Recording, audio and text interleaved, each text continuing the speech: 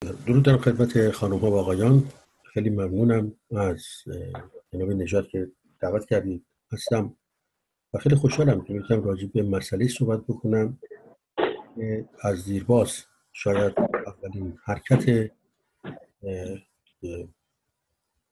واقعا تمام ایار علیه جمهوری اسلامی انجام شد ولی متاسفانه موفق نشد به پیروزی برسه یک زمینه پیش زمینه بگم که چطور شد در واقع ما توانستیم نیرو جمع کنیم و چی باعث شد.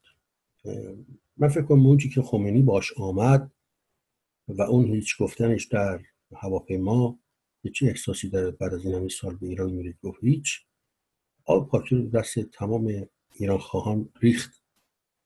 این خود به خود مسئله به وجود آورد که زمزمه های شروع بشه در موردش گفتار بشه. که این طرف اصلا ایرانی نیست علاقه به ایران نداره.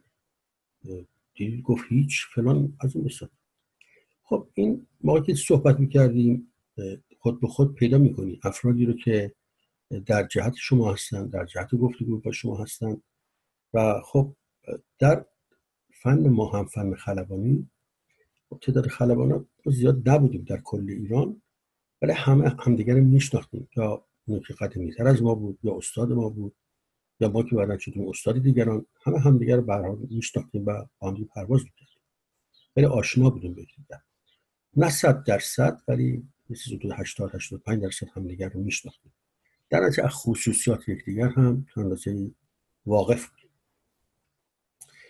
این یه مسئله بعد از اینکه در واقع فتنه خمینی انجام گرفت حدود شاید دو سه ماه بعدش نیروی دریایی ایران اون موقع که فرمودش تیمسار مدنی بود. یک مانوری در خلیج همیشگی فارس داد و این رسم زمش که نیرو دریایی داد در واقع می‌خواست آمادگی نیرو رو پس از در واقع تغییراتی که در ایران انجام شده بود نشون ما تعدادی بودیم از دوستان که واقعا نگران ناراحت بودیم از وضعیتی که بود. از سن 25 تا 26 27 داشتیم دیگه به همین فاصله. ما هم یک ماه بعدش در واقع تقاضای یک مانور کردیم. ضمن که بگم تنها پایگاهی که سالمتر مونده بود نسبت به پایگاه های دیگر ایران پایگاه شاهرخی بود. از یه طرف هم پایگاه شارخی درگیر مسائل کردا هم بود. نتیجه پایگاه بسیار آماده بود از نظر تحصیلات و مهمات به طور کلی و هواپیما. و اینکه اوباش ارازل در واقع که بعد از انقلاب روی کار آمدن کمتر در اشتخارت داشتن کارها در دست خود ماها بود به صورتی که کی پرسونلی در واقع کل پایگاه خود خلبان ها بودن. که در جای دیگه چنین چیزی نبود. اونم به خاطر عملیاتی بود که انجام داده می‌شد و نگهبانی از مرزهای ایران بود که بر دوش این پایگاه چون پایگاه پایگاه بسیار بزرگی بود. با سه گردان شکاری و تاکتیکی و یکی از قدرتمندترین پایگاه های در ایران بود. بالاترین هدفهاش هم هدف های عراق بود. همیشه از دیرباز در تمام شهرهای عراق. فرقی نمی‌کرد. از موسل بگیریم بیایم تا بریم به بصره این هدف های این پایگاه بوده همیشه همیشه. به طور کلی. کرد کنم به این مانوری که نیرو رایی داد ما موقع تیمسار ایمانیان فرمانده نیرو هوایی بود. تقاضای مانور کردیم که نیرو هوایی بده. ولی قصد ما چیز دیگری بود. چون منطقه که مانور ما بود منطقه کشک نصرت بود علیاباد قوم نزدیکی قوم هست. در یه بیابانی از به نیرو هوایی بود و مانور بهرام که یه مانور بسیار بزرگی بود در حضور شاه فقید و یا جاوید نام انور سادات در اون منطقه انجام شد. مانور بسیار بزرگی بود. ما خواستیم در واقع یک آمادگی نشون بدیم. برای قصد ما از این زدن خمینی بود که خمینی رو دعوت کنیم به دیدار از این مانور. حالا به حساب بچگی می‌خواد بذارید ارق ملی می‌خواد بذارید هر چی می‌خواد بذارید به حال قصد و زدن این بود. فکر بعدش هم نمی‌کردیم چی پیش بیاد. واقعیت بهتون بگم. که دعوت بشه به اونجا چون در مانور از اسلحه اصلی استفاده میشه. بمب راکت همه اصلی هست. بلکه قدرت آتش رو نشون بده این چیزا اینا حقیقی خیلی راحت میشه زدش. و قصد و همپیمان شدیم که بزنیم اونو. چهار بعد هم مانور رو در واقع تمرین کردیم با نیروهای دیگر که همیشه این کارو می‌کردیم. ولی بعد مانور کنسلش کردن. حدود شاید چند هفته که انجام شد یعنی تمرین که می‌کردیم مانور کنسل کردن. ولی خب این باعث نشد که ما مسائل رو در واقع نادیده بگیریم فراموش کنیم. همین که در واقع در جریان مانور و قصد ما زدن خمینی بود باز یارانی گیر آوردیم که صد درصد پشت جریان ایستادن. نجات ایران در درجه اول. تلاش خودمون گسترده سر کردیم و برای خیلی سرپسته تا اینکه حدود شیش ماه از شاید انقلاب گذشته بود دوستی داشتم که بازخرید شده بود در تهران بود سروان حمید نیمتی خب بچه های ما رو میشناخت دوستان دیگر رو آمد پایگاه و به دیدار من اومد. خیلی با پروفایل اومد. نمی‌خواست کسی ببیندش با من صحبت کرد. که ما در همون جریانی که قرار گرفته بودیم یک تعدادی از نیروی زمینی رو پیدا کردیم که می‌خوان چنین کار رو انجام بدن. و گفتم خب باید اونا رو دید ببینیم چیکار می‌خوام بکنن چیکار نمی‌خوام بکنن بشین دور هم دیگه. دعوت کرد که برم به تهران. بعد من اولین هفته تعطیلی بود که جمعه می‌شد برخورد رفتم تهران رفتم در اون دیدار در اونجا شرکت کردم. تعدادی بودن از نیرو زمینی.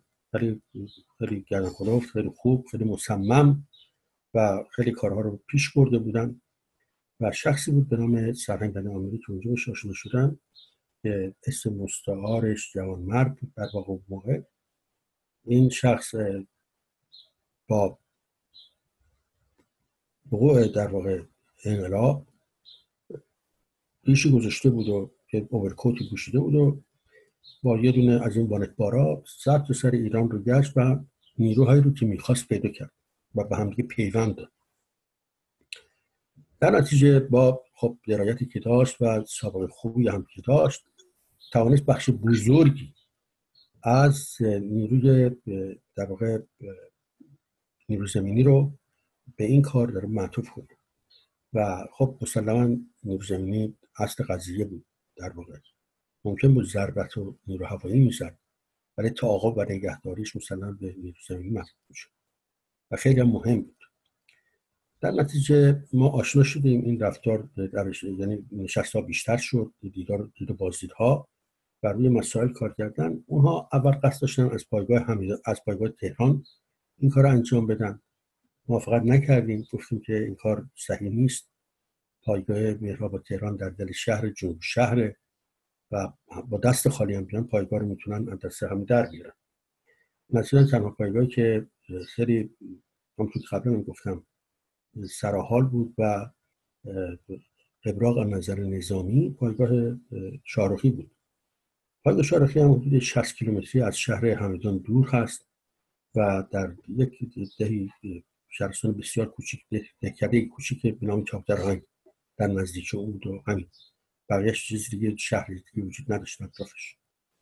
که حتی از جاده همدان به تهران به طرف پایگاه که می‌رفتید رو دوازده کیلومتر می‌رفتید تو خود پایگاه برسید. یعنی که توی بیابون بود. و برای نگهداری اون پایگاه خیلی خوب بود. بهترین جا بود. ضمن اینکه ادوات جنگی همه هم آماده داشت. مثل سلاح همه چی. و خلبان تعداد خلبان. به حال این پیوند خورد بین ما و پایگاه تهران که خلبانان تهران چون خلبان تهران که پرواز می‌کردن هدف ها رو بررسی بکنن. از چه زاویه حمله بشه از چه زاویه بتونیم گریز بکنیم و که بالاخره قرار بود چل چل بار چهار چهار فرمان هواپیما رو سر تهران باشه لاقل به هم نخوریم. با اون سرعت با اون وضعیت و که نبودن رادار و این چیزا.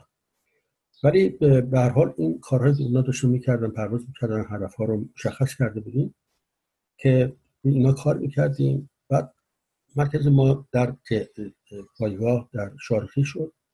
و در نتیجه ما دو تا خونه که خونه سازمانی بود متعلقش به دوست من بود الان در کالیفرنیا است این تردید مرکز تجمع. یکم منزل من بود که من شروع این جریانات خانم و بچه همون فرستادم به شهرستان به شیراز و دیگه اونا هیچ خبری نداشتن. بهترم بود. در نتیجه خونه خالی بود دوستان می‌تونستن بیان اونجا برنامهشون رو یا نشستاشون رو داشته باشن. ما شروع کردیم مقداری آزوقه جمع کردن به طوری که هر کسی می‌رفت تهران میامد اون لواش و خورما تهیه می‌کردیم که در داخل پایگاه داشته باشیم توی یخچالمون که اگر درگیر شدیم و در خود پایگاهشون آزوقه داشته باشیم. ولی خود پایگاه تهیه نمی‌کردیم که اصلا لو نره که مثلا مصرف نون زیادتر شده یا مصرف خورما زیاد شده یا همچین چیزه شک برانگیز باشه به مسئله رو خیلی به صورت یک کادر مرکزی بود که گفتم در تهران شروع شد که تعدادی بودیم. از نیرو هوایی و تعدادی از نیرو زمینی. اونجا دیگه تیمسار محققی هم رفتیم به ما پیوست. من واقعا یادم نمیده شبی که ایشون تولد دخترش بودیم از عروسی دخترش بود رفتیم و ایشون رو تو عروسی دیدیم و اونجا بهش گفتیم. چون ملاقات خصوصی می‌کردید از زندان آزاد شده بود شک برانگیز می‌شد. ولی عروسی مسئله کلی بود و جشن عروسی رفتیم و بهش گفتیم جریان اینه گفت من هستم. و قول شما داد و در جلسه هم حاضر شد. حال اون روزی که در واقع به قرار بود کارو حرکت رو پیش بردیم که آمادگیشی داشته باشیم که چه روزی باشه 18 تیر انتخاب شد. حتی 18 تیر هم حدود سه هفته قبلش انتخاب شد. این آمادگی رو داشته باشیم. تا اونجا که من بودم یک چند بار با آقای بختیار صحبت شد و آقای بختیارم نه در جریان طرح باشه. چون لزوم نداشت بختیار در جریان طرح باشه ولی مینیمست که خب حرکتی در ایران قرار اتفاق بیفته و خب از چند و چونش خبر داشت ولی از اسامی و چگونگی طرح که چی کار می‌خواد بکنه چه ساعتی نه خبر نداشت. چون اونم یه آمادگی داشت در واقع نیروی غیر نظامی رو که بتونن سر کارها قرار بگیرن به اون تهیه کرده بود ما بخش نظامی شو به عهده داشتیم. حال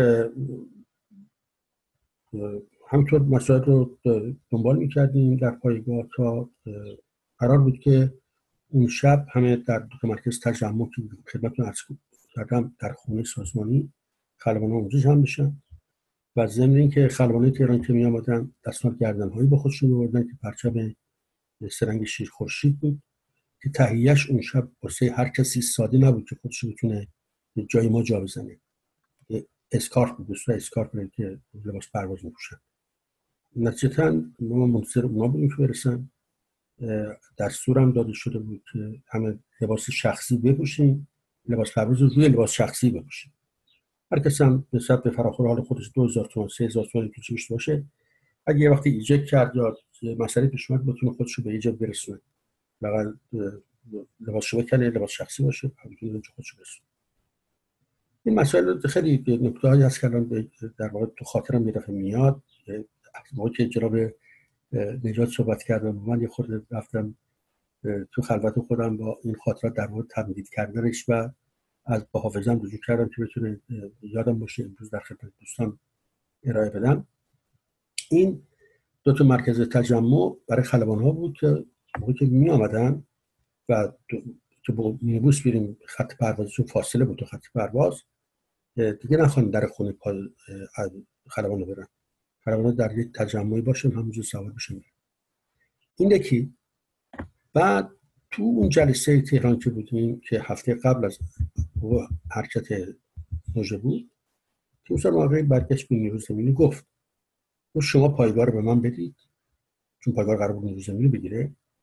من ایران رو بهتون میدم. شما پایگاه رو تصویر کنید. من ایران رو بهتون تقدیم می‌کنم. و هم میگو و چنین هم می‌شد. در نتیجه توی همین بحویه حرکات سرگرد آزرتاش که اعدام شد. از تیپ نیرو مخصوص بود تیپ نوهد به پایگاه اومد. من بردم یه بررسی کردیم نشونش دادم های مختلف با ناصر رکتی که اون هم اعدام شد و حتی مادرش هم اعدام کردن به حال جاها نشون دادن و شلترها نشون دادن و جاهایی که باید بره. نقشه هم کشته بودیم. نقشه خود پایگاه رو داده بودیم تهران. یک گروه راهنما گذاشته بودیم. دم در نه دم در درست. یه فاصله بود که بین گفتم 12 کیلومتر از سر جاده سرایی بهش می‌گفتن سرایی همدون تهران. اومد به طرف پایگاه بیابون بود. دست راست حالت گوری بسیار عظیم بود که اونجا قرار مرکز تجمع نیرو زمینی باشه. که اونجا از اونجا حرکت بکنن بعد بیان دژبانی که دژبانی رو بخوان بگیرن وارد پایگاه بشن. این نیروی راهنما که تعدادشون 22 نفر بود دو نفری برای هر یه هدف تعیین شده بودن. برای 11 هدف داشتیم که تقسیم می شدن نیروی زمینی با این دو نفر می‌رفتن که سریعترین راه رو برن نزدیکترین راه رو برن که تمرین هم شده بود و زمان هم گرفته بودن که چه راهی بهتره راه بهتر تو خود پایگاه بتون پایگاه رو بگیرن چون مسئله بنزین پایگاه بنزین هواپیما در پایگاه نگهداری گردان نگهداری که در واقع ادوات یا قطعات هواپیما در اونجا هستن این خیلی مطرح بود. خود اسلحه خونه پایگاه این مسائل بودش برام.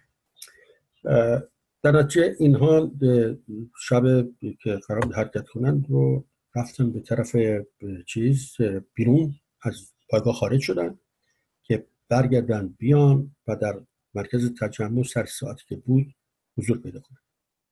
حالا از اون طرف تهران رو بهتون بگم. اینا البته بعدا چندین چون خبر از تهران نداشتیم سلفون اینستان که موقع نبود متاسفانه کاشمی بود خیلی دوستان جون سالم به ببرن تکنولوژی به اینجا نرسید به هر اما در تهران قرار گذاشته بودن در پارک لاله گوشه از پارک لاله و یک قرار دیگه هم مرکز تجمعشون در ستاد بزرگرشتران بود اونجا.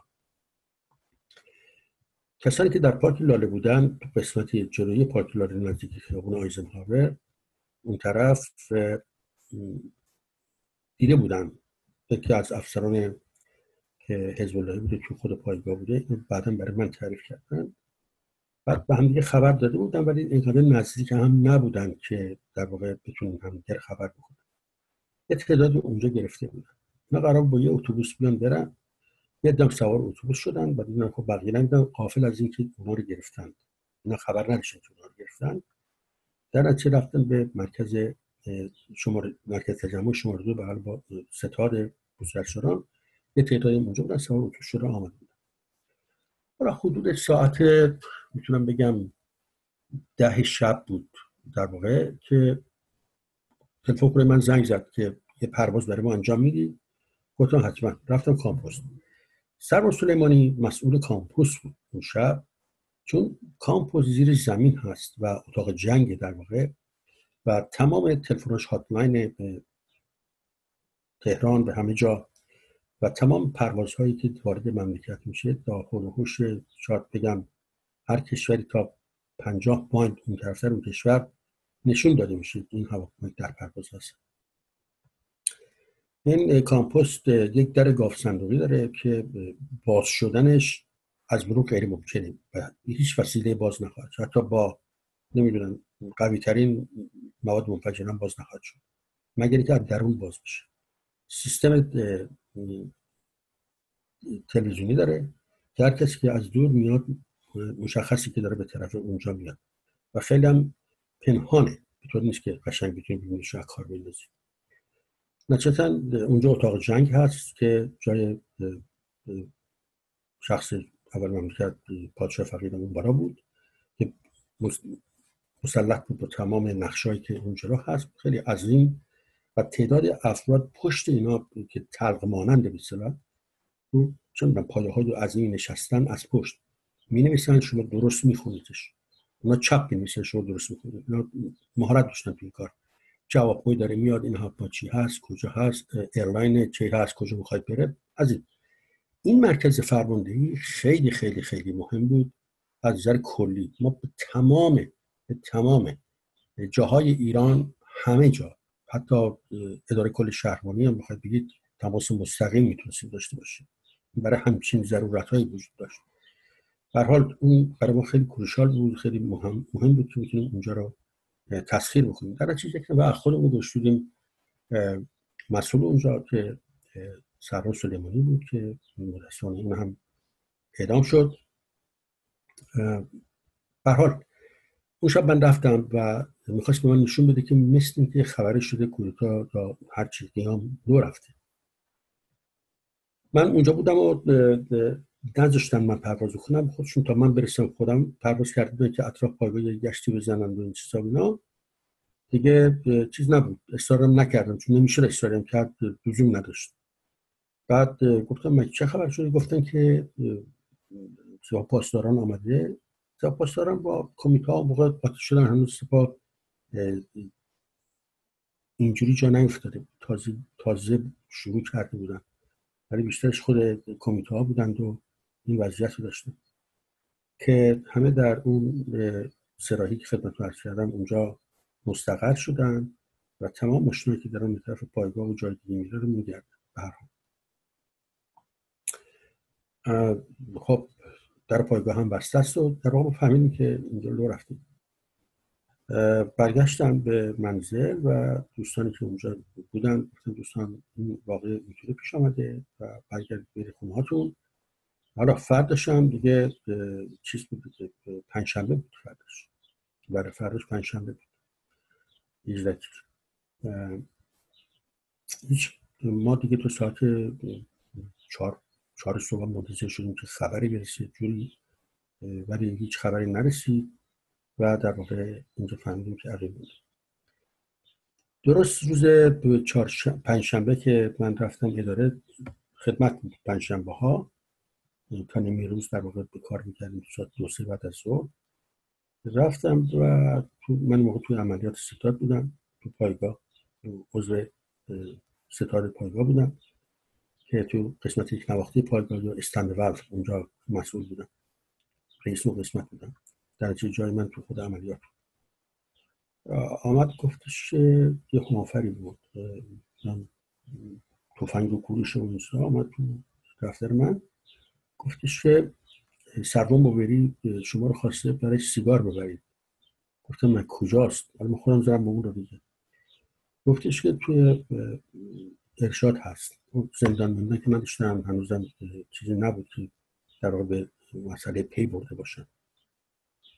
رفتم به سیگار. می‌دونستم اون سیگار نمیشید به حال رفتم برای سیگار خریدم از که داشتیم تو خود پایگاه بردم. می‌خواست منو ببینه فقط.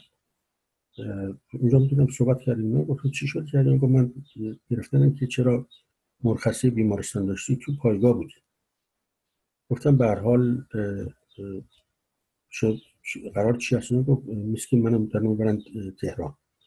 این در واقع تو قسمت بیلدینگی که بود آپارتمانی که بودیم این طبقه دوم برای من دست چپ بودم طبقه یک بودم این طبقه دوم دست راست بود.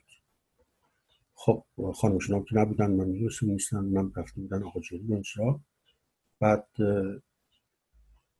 اومده بودم مسواک و گفتم برای اونم نمی‌دونستن چه کار می‌خوام بکنم به اینا چه در انتظارشون چی هست اینا.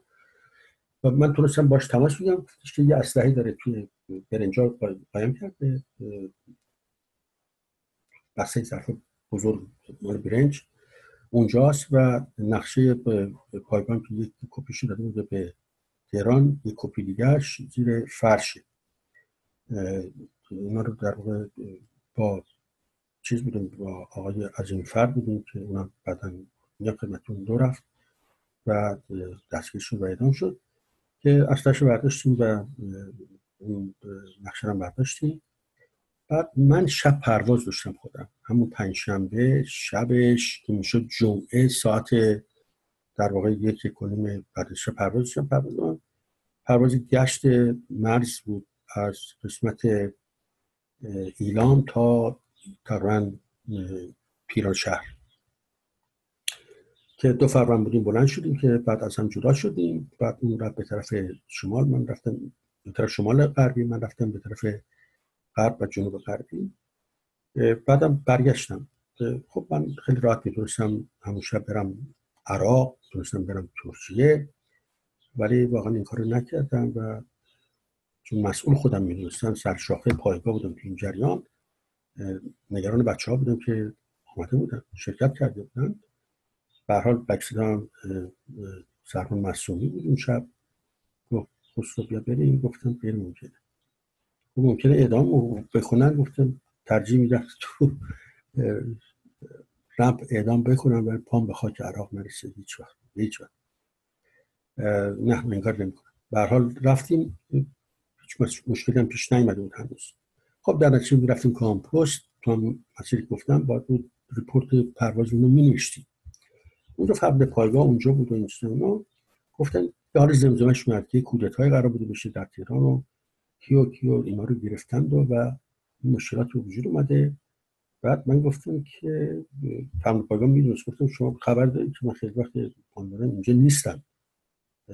پس لطفا یه مرخصی من 48 ساعته می‌دید برم یه دید بازی بکنم. چون مادرم خیلی من دوست داره و بفهمه واقعا سکته می‌کنه. می‌تونی 48 ساعته بری بیای گفتم 100 درصد. حالا من که مرخصی جمعه رو گرفتم. همون شب. میگم هنوز هم نرفته بودیم. با بویری هم که سر جگدان اصلش رو قایم بکنه و چیزها در باور بریم نابود کنیم. گفتمش که حدود 48 ساعت سعی کنید دوام بیارید. با دوستانم بگید که هر کی می‌تونه جابجا بشه تو اونجا که ممکنه. 48 ساعت دوام بیاره. قرار اونا به نظر من بیش از اینا دوام آورده بودن. و پیش آمد که من دیگه از پایگاه روز جمعه رفتم به توسط یکی دیگر دوستان که اون هم بعدا دستگیر شد البته اون می‌رفت به تهران. من سیرای ساوه پیاده شدم دیگه با اتوبوس های بین راه می‌رفتم که بلیت نخوام ترکمو نداشته باشن. خودم رسوندم به شیراز دیداری از خونباری کردم و دیگه با نصیرم اونجا. گفتم جریان چی هست؟ چون نمی‌دونستن هیچی نمی‌دونستن. و دیگه رفتم دیگه بین قشقایا بودم. بوده سه ماه پیش قشقایا بودم اونجا پنهان بودم. بعد راه رو برای من باز کردن از طریق پاکستان و آمدم پاکستان. از اونجا تماس گرفتم به پاریس آقای بختیار و رفتم به پاریس. بعد آمدم به مادرید. بعد دور رفتم به پاریس. بعد از اونجا پایگاهایی که در خارج درست کرده بودیم برای جمع آوری نیرو در ترکیه ملحق شدم شش ماه ترکیه بودم که بعد از اونجا منتقلم کردم به پاکستان که پایگاه پاکستان رو تأسیس کردیم که قسمت کرمان استان سیستان و بلوچستان و استان هرمزگان. اونجا زیر دست من بود در واقع که بتونم از بیرون با اینا کمک بکنم. بعدش هم که دیگه جنگ شد و نیروی اصلی ما که در واقع جزء این جریان بودن در جنگ درگیر بودن. و به هیچ وجه ما نمی‌توانستیم که بخواهیم که دست از جنگ بکشن بیان سراغ جنگ خانگی. اون جنگ با دشمن خارجی بود. خیلی هم واجب بود به نظر من. جانانه هم وایسادن و خیلیشون در اون مسئله بودن. تعدادی که دیگه لو رفتن به تدریج و اعدام شدن که دیدید همه شنیدید. در بودش دادگاهاشون یک روز دو روز بیشتر نبوده. یعنی چند ساعته در واقع بعدم اعدام کرده بودن. تعداد اعدام شدگان 240 نفر هستن که از این تعداد 144 تاشون نظامی بودن بقیه غیر نظامی. و هر حال این چیزی که در واقع من یادمه وارد جزئیات نشدم واقعا. چون جزئیات بسیار بسیار زیادی هست. افراد زیادی هستن که هنوز نو رفتن و همیشه هم خواستم در این مورد بنویسم یه چیزی کتابی چیزی چاپ کنم. به اونجا می‌رسم که اگر شغل دوستان رو بخوام معرفی کنم باز لو میرم. حتی اگر اسم مستعارم براشون بذارم چون در قسمت های کار می‌کردن مشخصه که اون قسمت بالاخره یک نفر یک دو نفر بیشتر نمی‌تونستن باشن. اینه که به صرف نظر کردم. و خیلی خوب یادداشتهایی برداشتم گذاشتم کنار. ولی اصل قضیه در واقع به این صورت بود که بعدم که ادامه دادیم در خارج با آقای دکتر بختیار سه سال همه کار می‌کردیم. خیلی باز داشتیم این آمادگی نظامی رو ایجاد می‌کردیم در داخل. حتی ما قوی تر از دوره قبل شده بودیم که در داخل ایران بودیم. ولی میگم متاسفانه نیروی ما هشت سال در جنگ بود. ما باور نمی‌کردیم که در واقع این جنگ بخواد هشت سال طول بکشه. نتیجتا ما نمی‌توانستیم مثل مجاهدین عمل کنیم که بیان با صدام همگام میشیم یا علیه جمهوری اسلامی اون روز که درگیر خود جنگ خارجی هست و ما هم درگیر مملکت بشیم. حال این صحبت من بود برای ممکن تو سوالات مسائل پیش بود حتما نسبت به سوالات تقدیم دوستان خواهیم کرد. از من فعلا تمام. در خدمتتون هستم.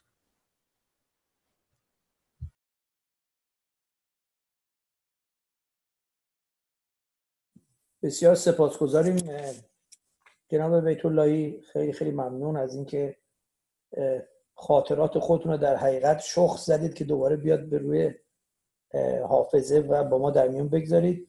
پرسش زیاده مطمئنم. برای خود منم چندین پرسشی که می‌خواستم مطرح بکنم. ولی من یه پرسش مطرح می‌کنم. دوستان دیگه پرسش دارن. بعد اگه دوباره به من فرصتی رسید در خدمت هستم. در ضمن آروین گنامی مدیریت نشست رو انجام میده. بنابراین من بعد از پرسش خودم دیگه واگذار می‌کنم به آروین جناب بیت اللهی بود مهدیون سرتیب آیت محققی و همچنین یکی از افسران نیرو زمینی این جریان که ترکیب از نیروهای زمینی و هوایی بود فرمانده کودتا کی بود فرمانده عملیات زمینی کی بود فرمانده عملیات هوایی کی بود؟ شما اشاره کردید که عملیات شاهروخی با خود شما بود مسئولیتش. نفراتی که در جای مختلف بودن اگه ممکن چند نفر ازشون یاد کنید چون من فکر می‌کنم تقریبا فرماندهان رده بالای عملیات شوربختانه همه توسط حکومت تیرباران شدن. سپاسگزار میشیم یادی از این دوستان بکنید و معرفی کنید اون سلسله مراتب فرماندهی خیلی چون کنم مسئولیت من هماهنگی در پایگاه بود. مسئولیت من در واقع رئیس عملیاتش نبودم رئیس عملیات نیروی هوایی تیمسار محققی بود که از پایگاه میمد عمل می‌کرد. تیمسار مهدیون در واقع بهش گفته شده بود. من هیچ شما توی جلسه ایشون رو ندیدم. توی جلسه من ایشون ندیدم. من به حدس می‌زنم به ایشون گفته شده بود که در حرکت تعاقب بتونه همکاری کنه. ولی من تو جلسات دائمی که بودم هیچ وقت ایشون رو ندیدم.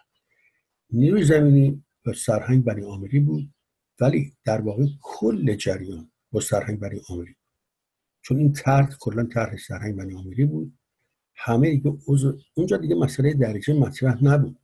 چون مثلا فرض کنم من که سرشاخه پایگاه شارخی بودم خب خیلی بودن درجهشون اصلا بالاتر بود. ولی مسئله توی طرح تا کجا رفتن و قرار گرفتن بود. اینکه بعد ما شبکه هایی که درست کرده بودیم که می‌رفت هر یک نفر بیش از دو نفر رو نمیشناخت. و هیچ راهی نداشت که بیش از دو نفر رو به طور لو بده مگر کسانی که رده های بالاتر بودن که مثلا فرض کنیم سر، سر، بویری یه چیز حدود مینتیننس پایگاه رو 500 تا همافر رو و درجه که کارشون کار می‌کنه که هواپیما و تکنسی هواپیما بودن رو کرده یا شخص دیگری فرض می‌کنیم که باز درجه از من بالاتر بود.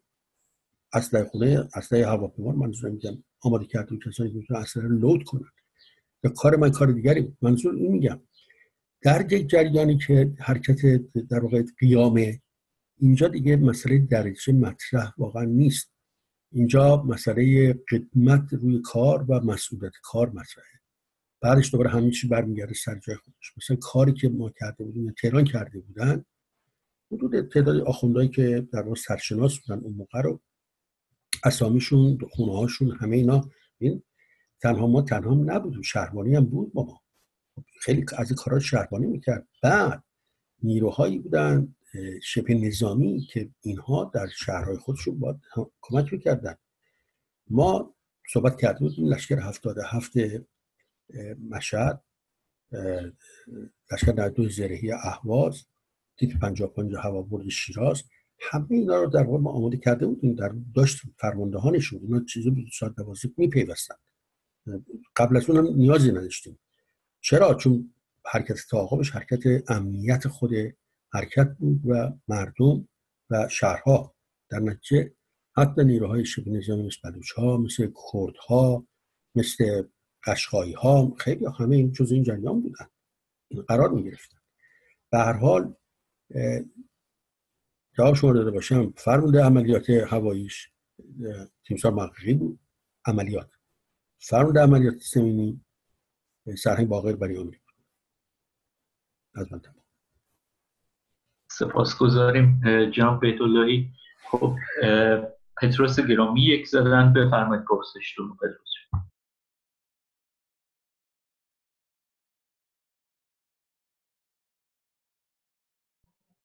شاین جان گویانه پتروس جان بسته است گویا. اگه شما بسته شما. الان صدامو میشنوین بله. من سوالم درباره حزب مشروطه که استاد عزیزمون فعالیت می‌کنن سوال داشتم. اگر بحث رو عوض می‌کنه از سوالم صرف نظر می‌کنم می‌ذارم یه زمان دیگه. ولی در کل بابت کاری که کردن اون وجودی که داشتن اون حسی که داشتن تو درونشون چه اونایی که رفتن کشته شدن چه اونایی که موندن واقعا از صمیم دل سپاسگزارم فقط همینو می‌خواستم بگم. سوالم هم نمی‌پرسم دیگه چون بحث کودتاست و تغییر می‌کنه بحث. خواهش می‌کنم خب جناب بقایی یزدی به گوشیم خواهش می‌کنم درود به شما جناب آربین گرامی همه دوستان عزیز و جناب جناب سرگرد بیت اللهی گرامی عذر می‌خوام که کمی دیر رسیدم ولی فکر کنم بیشتر صحبت ها رو شنیدم و خواستم فقط اول درود بفرستم به شرف و حیثیت شما جناب بیت اللهی و درود به روان پاک تمام اون افسران قیور و شجاعی که می‌خواستن در این واقعی نظامی شرکت بکنن و اینها مسلما اسمشون برای همیشه در تاریخ ایران باقی خواهد موند. واقعا روح و روان همشون شاد. جناب بیت اللهی من خب خیلی صحبت ها هست البته دیگه وقت نمی‌خوام بگیرم. جالب هست که این برنامه که ریخته شده بود و همون به حال به قول معروف به نام 18 تیر معروف هست این کودتا که قرار بود انجام بشه. اگر اشتباه نکنم حدود فکر کنم یک یا دو هفته بعد از این جریان پادشاه فقید محمد رضا شاه فوت کردن اگر اشتباه نکنم. و خب مسلما شاید این خبر رو ایشون هم شنیده بودند و بسیار دلشکست و ناراحت روی تخت بیمارستانشون در اون موقع در قاهره بودن قاعدتا. این رو می‌خواستم ببینم آیا درست است و اشخاص مختلف گزارش های مختلف دادن روایت های مختلف از این برنامه دادن. می‌خواستم ببینم نخ می‌دونم که خب جریان دو شادروان دکتر شاپور بختیار و حال خیلی روشن و واضح بود در این موضوع. آقای خادم آقای خادم که وزیر دکتر بختیار بودن ایشون دقیقا نقششون در این چیز در این کودتا چی بودش و اگر میشه در این مورد صحبتی بکنید خیلی سپاسگزار میشم. گویانه را. سپاسگزارم جناب بقای گرامی. ما پارسال بودیم در خدمتتون بودیم لندن شب شام بله. بله بله درست. گذشت. دست شما درد نکن لطف برات دوستان دیدیم. خدمتتون که کنم به کاملا درست دارید بگید پادشاه فقید تقریبا دو هفته بعد از اون بود کردن. ولی اون که مسلمه شما به وسیعت نامه ایشون رجوع بکنید گفتن که حالا اسم قیامون نیاوردن ولی دقیقا گفتن در حالتی که من دارم جانم رسیدم قلب یکایی که افسران جوان من داره آماج گلوله ها میشه. و وصیت هم کردن بین ما خاک میشن این کاملا می‌دونستن در جریان این جریان بودن و به نظر من خیلی خوشحال شده بودن. بابت نه اینکه این حرکت شده بود اتفاقا یه سرفراز شدم جلوی حتی من خود شهبانو شدم اینو که جلو سادات که یک هستن در ارتش کسانی که به فکرم و هم جوان هستن. راستم میگم همه اکثرا زیر سی سال بودیم دیگه. چند تا مثلا افزار خب 60 ساله داشتیم که خب اونم اینقدر تجربهشون بالا بود که واقعا با ارزش بود که از تجربات اونا استفاده کرد. بله کاملا درست بود. و من فکر کنم تو اون وصیت نامه کاملا توضیح دادن خودشون نسبت به آیندهشون. این بود اگر متوجه سوال شدم همین بود دیگه بله؟ نقش آقای جواد خادم. نقش جواد خادم. کلا ما دو قسمت داشتیم. خدمتتون گفتم گفتم یه قسمت نظامی بود که ما نظامی ها بودیم به طور کلی. حالا نیروی که بودش شهربانی نیرو هوایی نیرو زمینی چند یا نیرو دریایی چیزا بود. یه بخشم بخش سیویل بود. شرکت ملی نفت خدمت ارز کنم خیلی جای دیگه. وزارت خونه هایی که در واقع بودن. آقای جواد خادم این نقش رو در واقع هماهنگی بین نیروهای سیویل رو انجام می‌داد. با ما کاملا مجزا بودن. نه در جلسات ما شرکت می‌کردن و ما در, جلسات اونا شرکت می‌کردن. نقش اونا نقش از کار اندازی در واقع اون می‌دونم وزارت خونه ها و این چیزها بود. ضمن اینکه برآمدش که بعدا می‌خواد بالاخره شما هر سمتی رو می‌خواد به کسی بگید به کسانی می‌دید که اطمینان بهشون داشته باشید. خب همش که بخش نظامی نه قرار نبود حکومت سرهنگ ها بیاد سر کار. واقعا چنین چیزی نبود. قرار بود غیر نظامی ها بیاد ما گفتیم برای 48 ساعت فکر کنم عفو عمومی می‌دادن. باز صحبتی کردم گفتم آدرس آخونده رو داشتیم حدود چند تا بودن؟ 700 730 همچین چیزی اینا همه اسیر می‌شدن و میمدن به پایگاه میبردنشون به پایگاه شارخی جاش هم برایشون در نظر گرفته شده بود. یه آشیانه بود بهش میگن آشیانه سیاه. خب خالی هم بود و تو قسمت پروازی هم هستش. اونجا رو تعیین کرده بودن واسه در واقع نگهداری از اینها برای اون چند روز. به حال می‌خوام بگم به دو تا بخش مختلف بود. آقای جواد خادم تو بخش سیویل بودن ما تو بخش در نظام شد سپاس از شما سپاس. خب آبراهام خطیبی گرامی شما پرسش داشتید بفرمایید. درود بر همه یاران و اساتید استادان بزرگ و درود بر جناب بیت اللهی بزرگوار و سپاس از ایشون. سوالی که داشتم شاید این مقدار مثل همیشه ذره سوالم بزرگ دراز باشه طولانی باشه. از آخرین نشست شورای فرماندهی ارتش شاهنشاهی که شاهنشاه در اون شرکت داشتن تا زمانی که شورش شد و تمامی سران ارتش شاهنشاهی گرفتار شدن. حال و هوای ارتش شاهنشاهی رو در اون زمان می‌خواستم بدونم به چه گونه بود و خب چرا سران ارتش شاهنشاهی در ایران موندن و چرا بازداشت شدند و حتی ارتش با طوفانیان پس از اینکه از زندان فراری داده شد روایت های هست که تا سال 60 61 در ایران در رامسر و چالوس مخفیانه گروههایی رو داشت و آیا اینکه ارتش با طوفانیان در این قضیه نقشی داشت یا نداشت؟ برخی از روایت ها رو شنیدم که از طریق تیمسار محققی ارتش با طوفانیان تو این قضایا نقش فرماندهی رو داشت. سپاسگزارم و شاد نیک باشید.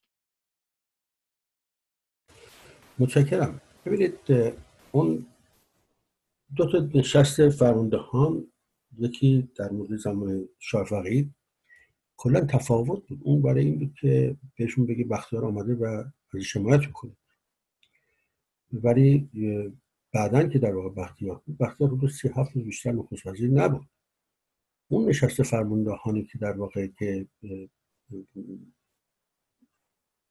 سود با مردم بیعت کردن یا همپیمان شدن اون دیگه شاه اونجا نبودن. این بزرگترین خطایی بود که ارتش کرد به نظر من. ارتش که بیاد در واقع با انقلابیون به پیونده؟ یعنی در واقع همه رو برد به قتلگاه نه تنها خودشون بقیه رو بردن به قتلگاه من فکر می‌کنم هیچ ارتشی اصلا چنین اجازه رو داشته باشه که با دشمنان مملکتش بشینه و بیعت بکنه و بپذیره. من متاسفم این رو میگم. اگر به جای اونها اون روز همین جوانهایی که در ارتش بودن رو گفته بودن اینا دارن میان به مملکت شما این برای سرش خواهد من فکر نمی‌کنم زیر بار چنین چیزی در ارتش رو هم دو دستی تسلیم دشمن بکنن. نه تیم توپانیان اصلا توی مسئله هیچ نقشی نداشتن. در حدی هم نبودن که نقش داشته باشن. اونشون یه مقام خرید فروش خرید اسلحه داشتن انجام می‌دادن. در مقام فرمانده هیچ وقت نبودن که بخوان کار بکنن. و نه اصلا اصلا به چیزی ایشون نمی‌خورد. گروه خون ایشون نمی‌خورد این کارها در واقع اسمود تیمسار ارتش بود می‌دونم درجه بالایی داشتن ولی کارشون رزمی نبود هیچ وقت. ایشون مسئول خرید ابزار جنگ افزار و هواپیما و این بودن بیشتر در خارج و داخل بودن. خب شاید اطمینانی که داشتن. ببینید آدم تو اون کمیسیون فرماندهان ایشون چون ایشون فرمانده نبودن به طور کلی. یعنی تو نیرو هوایی فرماندهی نداشتن. مثلا اگه تو هوایی هم بودن خب مثلا کسی مثل ربیعی فرمانده بود که سپه بود. میگم اون مسئولیت چیزی دیگر داشتن. در حال نه فکر نمی کنم و من به نظرم کار اصلا ناشایستی بود که ارتش انجام داد و از نظر من زیر سواله که چرا بیاد همبستگی ملی من ارتش ناپیوسته بوده با ملت. که باید یه بار دیگه می‌خواد همبسته بشه. اون بزرگترین ضربه رو به نظر من به ارتش زد و راه رو هموار کرد که اینا بیا. حالا چه می‌دونم مسئول این بود که ارتش بود قرباقی مثلا گفته به اینا کاری نخواهند داشت. این کاری کردن که اونم غلطه. اگه نظامی بودن اون موقع که درجاشو گرفتن این مدالا رو گرفتن برای همچین روزی بود که باشتیم جلو دشمن. برای نبود که بخوان در از جوکیشون دفاع کنن. که مملکت هرچی بادا باد نه. من فکر نمی کنم البته ممکن نظر من غلط باشه ولی من همچنان که تو این سن و سالم الان از اون واقعا حدود سیا چه می‌دونم هشت سال میگذره سی سال داره میگذره هنوز باور دارم که ارتش بسیار اشتباه کرد که پیوستگی یا همبستگی اعلام کرد. در واقع با خمینی هم بسته شد با آخونده هم بسته شدن با اوباش هم بسته شدن با دشمنان ایران هم بسته شدن. این کار بسیار غلط بود. این معمولیت ارتش نبود. ارتش ارتش بزرگتر دفاع از مملکت بود. نبخشیدن مملکت عضو می‌خوام بر. مرسی. سپاسگزارم. امیر بیگلر گرامی سخنی دارم بفرمایید امیر سپاسگزارم آرمین جان. سپاس از جناب بیت اللهی و درود فراوان خدمت ایشون و بقیه دوستان.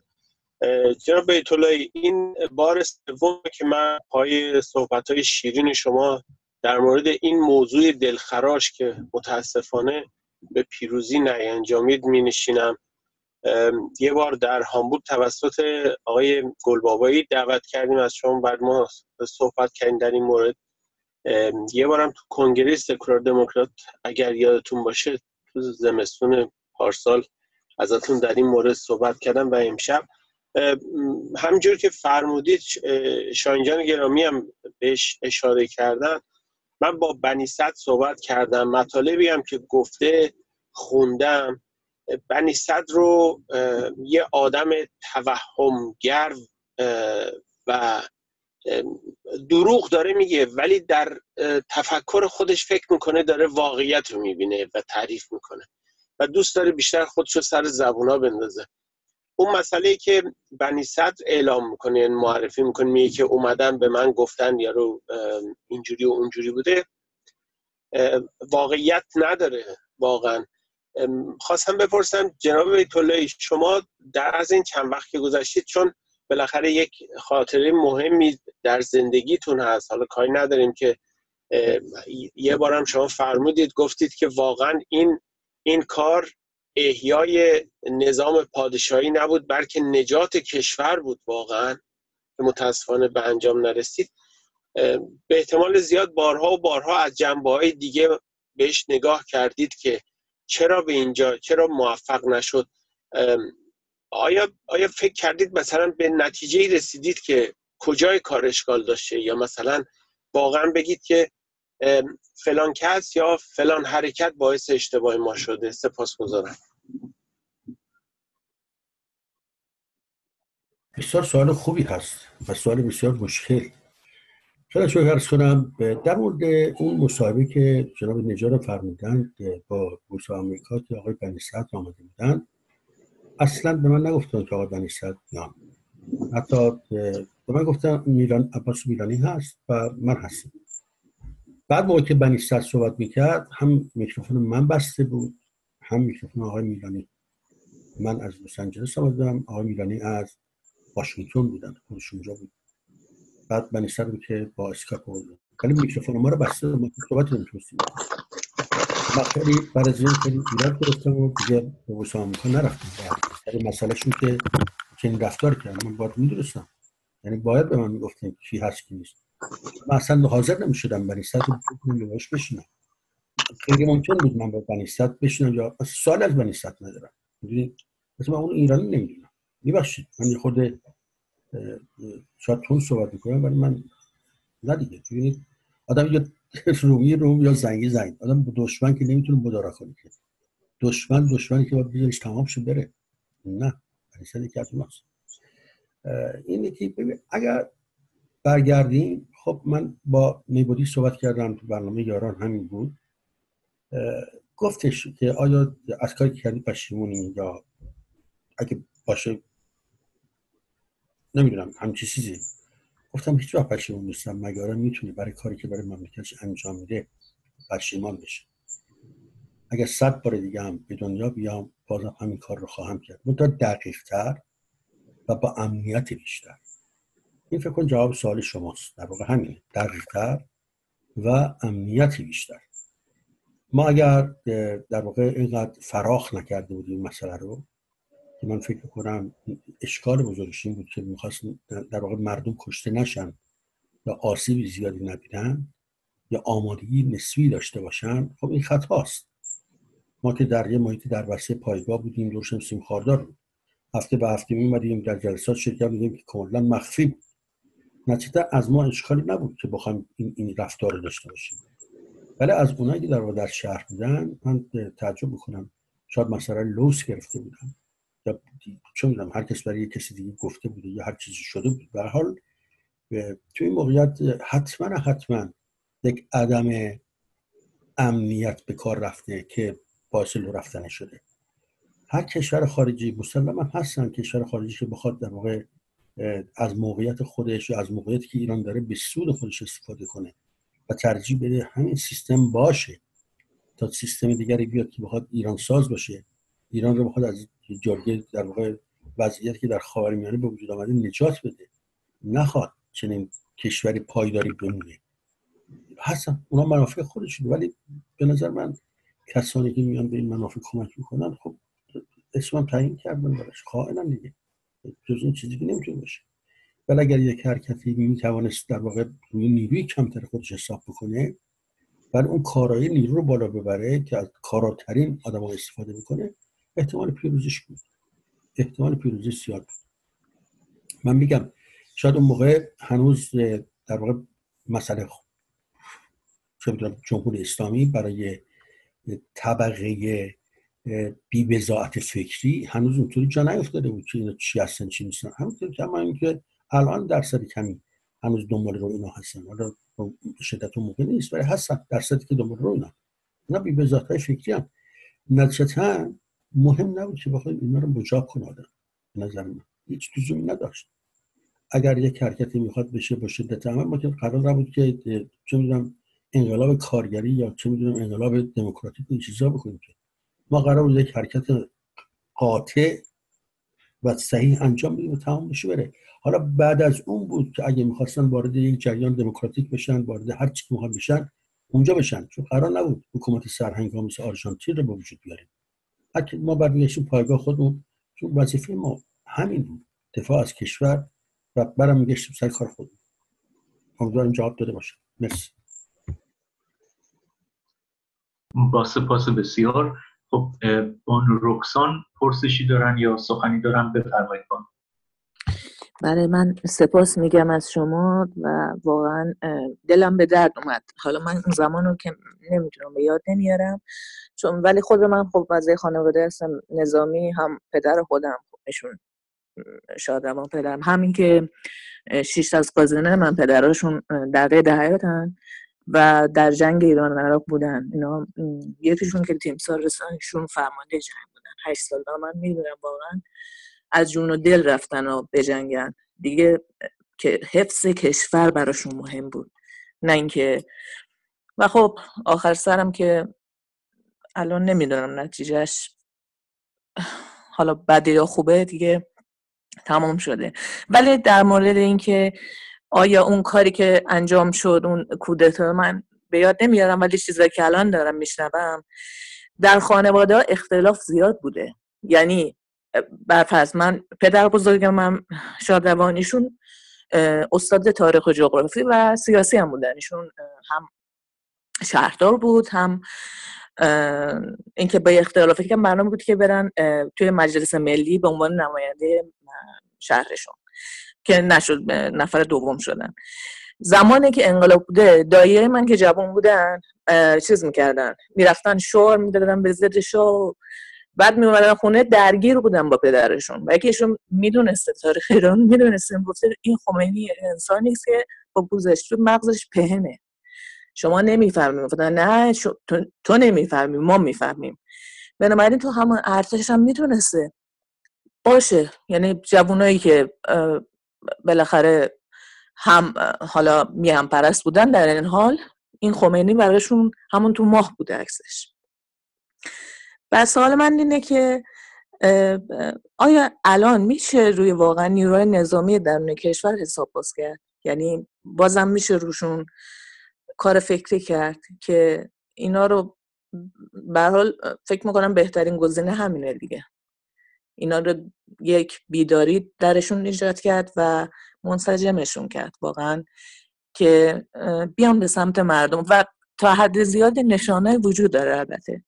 این پرسش منه و سپاس از سخنانتون و من از من دیگه بس.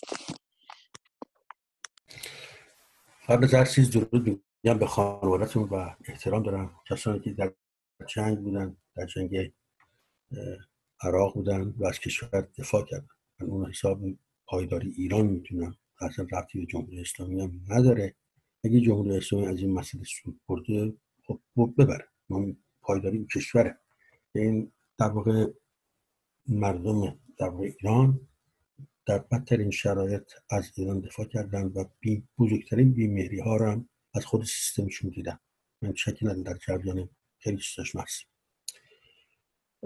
اختلافات بین خانواده ها بود. می‌بینید من که مثلا با خانوادم خانوادم نمی‌دیدم که با خانم خودم تو مشکل نداشتم که با یه بچه یک سال نیمه یا یه بچه سه ساله که داشتم. اشکالی نداشتیم ما. ما در پایگاه بودیم. تو پایگاه مشکلی ما واقعا اونچنانی نداشتیم. تعدادی بودن ممکن بود هوادار این انقلاب باشن. ولی نه اونچنانی نبودن که بشه روش حساب کرد واقعا. مگر اینکه تو اجتماع اینطوری بودن. خب ما زیاد از اجتماع واقعا خبر نداشتیم. میگم که منوط به این بود که گاهی وقتی بیام مرخصی وارد جریان میشم که خانواده‌مون رو ببینیم و چه می‌دونم گشت و گذاری بکنیم برگردیم پایگاه کار تفریحات ما اون موقع ها بود دورش. بعد به حال ببینید ارتش وظیفش مشخصه. حتی در جمهوری کثیف اسلامی هم وظیفه ارتش بالاترین چیزش دفاع از مملکت. همون قانون اساسی ماده 148 بگون مشخص کرده. همین. هر جا همین. هر جا دنیا همینه. حالا میگم بیمهری که از سیستم می‌بینه یا سیستم به نفع خودش باید اثبات کنه حرف الله در برای وجود و نیرو و توان فکری ارتش چیز دیگری است. من شکی ندارم. حالا تماسایی که هستش تماسایی که دیگران دارن دوستانی دارن. این ارتش یه چیز تافته جدا بافته است. یه وصله ناهمجوره به جمهوری اسلامی. نه سپاه پاسداران نه وسیج اصلا قابل مقایسه نیست. اصلا قابل مقایسه نیست. و اتفاقا به نظر من روی ارتش خیلی خوب میشه حساب کرد. در بزنگاه تاریخی روی ارتش میشه حساب کرد. ارتش کنار مردم خواهد ایستاد. من شکی ندارم. من روحیه ارتش رو در روی از این سراغ دارم تمیزی زیاد. اونا هم زیاد دیدن چون الان بازشستگان ارتش رو نگاه کنید. هیچ خودم وضعیت درست راستی ندارن. ولی بازشستگان سپاه بعد از چپاول بیت المال تازه یا میشن وزیر یا میشن وکیل یا میشن سفیر یا میشن پست اینجوری می‌گیرن یا میشن وزیر امور فلانجا یا مدیر کل فلانجا اینه. این تازه بعد از دوره بازنشستگیشونه. ولی ارتش چنین وضعیت داره این محموس بودنشون می‌بینید نتونستن جذب کنن. و به همین دلیله که نمی‌تونن باور نمی‌کنن. الان حدود چل سال داره می‌ذاره این ارتش اون ارتش دیگه نیست. ولی همین ارتش هم که آمده میگم به حال آموزش که می‌بینه رفتاری که میشه مثلا مملکتی که بشونه خود به خود جریان جدا میشه از سیستم. چون منافع ارتش منافع مملکت منافع سیستم که بالا سرش هست نیست. واقعا چنین چیز نیست. من اعتقاد دارم که این ارتش درود به شخصانی که جنگی نقشه کردن. جانها در اونجا خوش شدن. از ما هم دفاع کردن. همین. راه مملکت این باتری که می‌تونه کسی جایی که بهش برسه. از من تمام. سپاس گذارم. شاهین جان شما سخنی داشتید خواهش می‌کنم بفرمایید. سپاسگزارم. من پرسش کوتاهی دارم. جناب بیت یه مقدار اگه بلندتر صحبت کنم خوبه. برای کیفیت ضبط برنامه بهتره. صداتون یکم رساتر باشه ممنون میشم. پرسش من اینه جناب بیت اهداف کجا بود؟ چه مراکزی باید مورد حمله قرار می‌گرفت؟ توی روز عملیات؟ سپاسگزار میشم در این زمینه به ما توضیح بدید.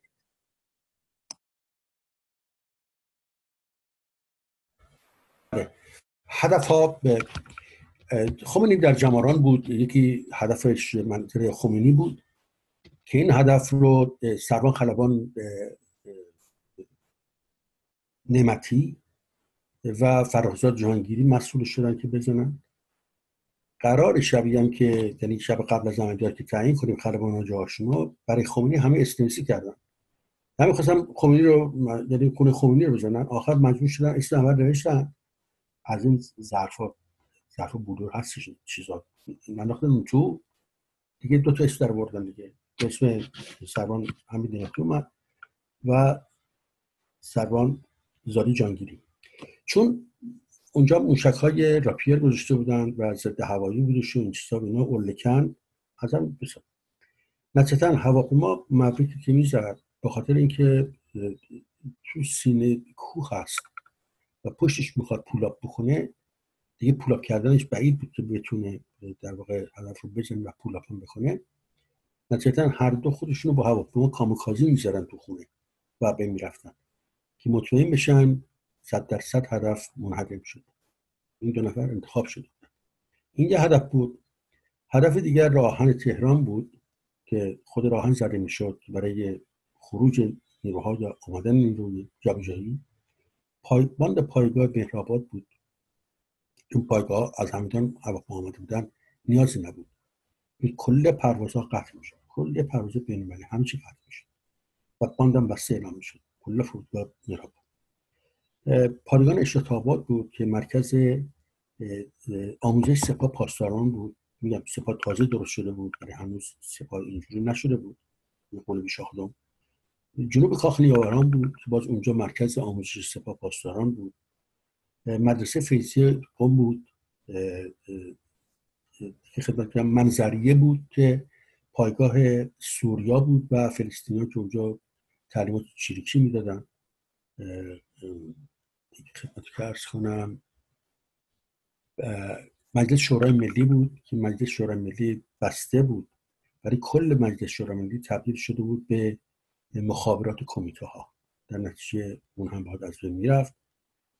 هدف ما این بود مگر اینکه هدف های دیگر هم ثانوی پیدا می‌شد مسلما می‌گفتن خب FAC Forward Officer Control می‌گفت می‌زدیم این هدف ها بود. امیدوارم که سلام رسید الان بهتون. می‌دونم. بله بسیار خوب بود. سپاس. خب یه پرسش هم من داشتم جناب بیت اللهی پرسش رو از سوی حالا کسانی که در رده سنی خودم هستن و دوران باشکوه شاه تقیید رو ندیدیم ولی آنچه که می‌بینیم دست کم چه توی رژه هایی که حالا عکس های فیلم هایی به یادگار مونده و برنامه هایی رو که الان داریم می‌بینیم برامون شاید خیلی پرسش برانگیز باشه که در درازای این نزدیک به چهل سال چگونه میشه که یک کشوری با این پیشینه تاریخی و با این پنجاه نزدیک پنجاه سالی خب دوره پهلوی اینقدر خدمت کرد به این کشور چگونه شد که در درازای این چهل سال به راستی چندین مورد همچون قیام شاهروخی رو ما نداشتیم و این مردم کسایی که در ارتش خدمت می‌کردند و گروه های نظامی بودند بر نخواستند در چندین جنبش متعدد بخوان مملکت رو پس بگیرن.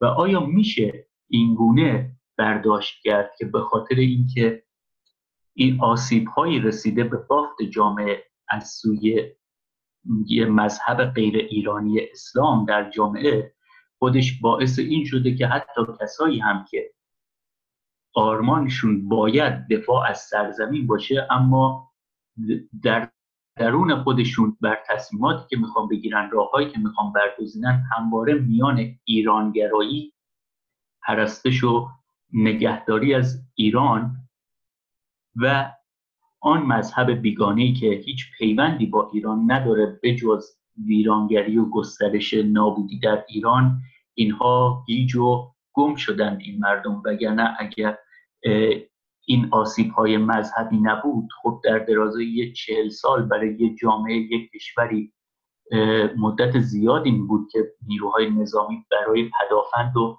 پسگیری کشور چندین مورد حرکت رو پیش می بردن آیا چنین نتیجه گیری رو شما متناسب میشمونید یا دیدگاه دیگه دارید سپاس گذار میشه ممنونم از لطفتون. ببینید آسیب مذهبی که جدید نیست که. این 1400 سال این آسیب این مملکت چیز جدیدی نیست. 1400 ساله که این ملت زیر یوغ این اسلام بودن. آمده. چیز جدید نیست. هر موقع سعی کردن ازش رفت ایجاد بکنن. شده پیش آمده. از دوره آخر ساسانیان تا صفویان دقت بکنید 700 سال 800 سال از ایران هیچ خبری نبوده. هیچ آثاری از ایران نبوده. تا اومد احیا شد امپراتوری هم شد فلان شد. این ملت ملت توانایی به نظر من. می‌تونه. همه امروز من به نظرم باور کنید من چرا خوشبین هستم نمی‌دونم. ولی روی ملت من حساب می‌کنم که این ملت توانایی این داره متفاوته. شما این 16 تا همسایه ایران رو یکی یکی نگاه کنید بررسی کنید هیچ کدومش شبیه ایران نیست. هیچ کدومش. شبیه این ملت نیستن. حالا بخشی که درشون قاطی شدن حالا مثل افغانستان اینسان بگذاریم پارشون در واقع ایرانی مسلکن. ولی مثل ایران نیستن مثل ایرانی نیستن. به نظر من این تفاوت ماست به طور کلی. این دین دین نابجاییه واسه ناهمرنگ اجتماع ایرانه. نمیپذیرتش. نمیپذیر حالا ممکنه این جنریشن از بین میره جنریشن دیگری میاد. من به نظرم از محلال میشه همونطور که یه 700 سال. تازان دیگه هر کار خواست کرد. چیکار نکرد؟ ببین ایران به چه روزی انداختن تا همون قبل حالا برگرد تا دوران مثلا قاجاری بهتر بوده تا دوران شاه سلطان حسین چه می‌دونم مذهب خان شاه محمود غزنوی و امثال هم یا آل بوده و امثال هم. می‌دونی خیلی متفاوت تفاوت زیادیه من اعتقاد دارم به این مردم من اعتقاد دارم به این ملت. و الان به نظر من مسئله دین مطرح نیست تو اجتماع امروز هیچ جوری دین شاید تو این چل ساله نتونسته بود به این بدی خودش نشون بده.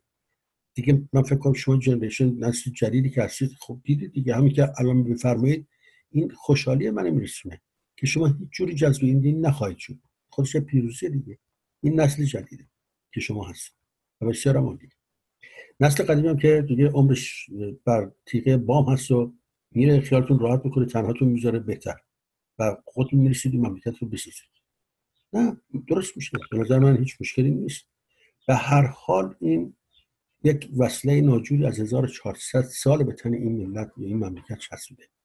باید کنده بشه از متم سپاسگزارم از مهربانی و مهرتون خب مرداد قنبری گرامی شما یک زدید بفرمایید. پرسش. درود میفرستم پیشگاه تمامی جان سپاران و فدایان راه میهن. به ویژه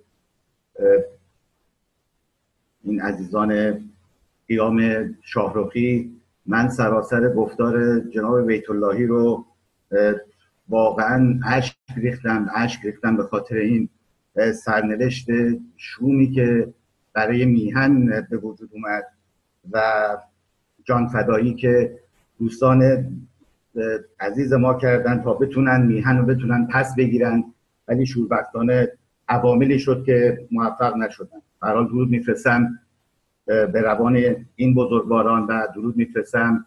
پیشگاه جناب بیت اللهی که از بازماندگان سرفراز این قیام هستند و به درستی می‌تونم بگم که یک سرمایه ملی برای ما هستن چرا که این طرح و برنامه ریزی یک کودتا بر روی کاغذ تا اجرای اون بسیار فرق می‌کنه و جناب بیت اللهی به درستی الان یک دانشگری جنگ به تمام عیار هستن و می‌تونن این اطلاعات ارزنده ای رو که کمتر کسی در دنیا اینها رو داره می‌تونن انتقال بدن به نسل های دیگه.